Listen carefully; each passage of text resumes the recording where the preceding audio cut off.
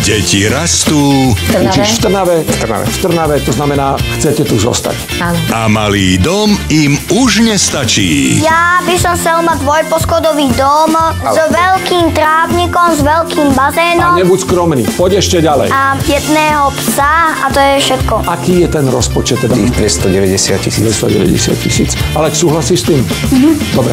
Nové bývanie. V nedeľu o 17.50 na Jojke.